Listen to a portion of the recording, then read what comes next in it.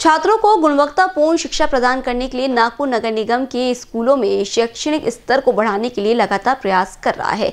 खेलकूद के वातावरण में प्रयोग के माध्यम से विद्यार्थियों को विज्ञान सीखने में सक्षम बनाने के लिए विधायक प्रवीण दटके की निधि से निगम के सात विद्यालयों में एडवांस स्टेम लैब स्थापित किए गए हैं। सोमवार को महापौर दर्शंकर तिवारी के हाथों एमए के आज़ाद उर्दू मीडियम स्कूल और जीएम के लिए अंग्रेज़ी माध्यम स्कूल में up to date STEM lab का उद्घाटन किया गया। इस अवसर पर महापौर दयाशंकर तिवारी के साथ शिक्षा समिति के अध्यक्ष प्रोफेसर दिलीप दिवे पार्षद मोहम्मद इब्राहिम तौफिक अहमद, मनोज संगोल, पूर्व पार्षद असलम भाई, निगम शिक्षा अधिकारी प्रीति मिश्री कोटकर, उप शिक्षा अधिकारी राजेंद्र सुके, पाथ फाइंडर के प्रमुख धनंजय बाल पांडे पाथ फाइंडर के राजेश मेश्राम, छाया पोटभरे और निकिता तापसे मौजूद थे।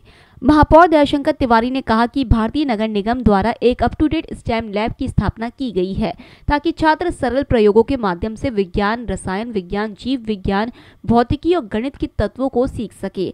पाथफाइंडर अगले तीन वर्षों के लिए विज्ञान शिक्षकों और छात्रों का मार्गदर्शन करेगा। प्रयोगशाला में प्रयोग कैसे करें? उपकरण का उपयोग कैसे करें, इसकी सभी जानकारी शिक्षकों को संस्था की ओर से दी जाएगी। यह 200 से अधिक प्रयोग करने में सक्षम होगा।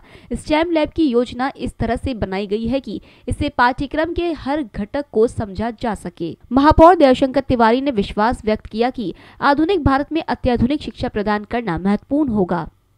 कैमरा पर्सन राजकुमार मोहर के साथ अभिषेक पांसी बीसीएन न्यूज़ नागपुर।